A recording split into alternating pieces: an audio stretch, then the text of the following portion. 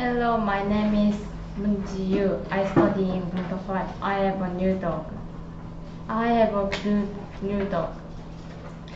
She is quite little. She has cute paws and a round face. She is brown. I have her for three days.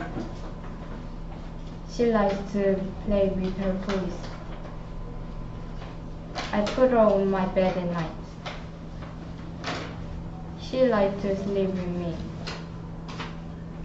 I like my new dog. I think she will be a good pet. I like my new dog. Yeah, thank you for listening.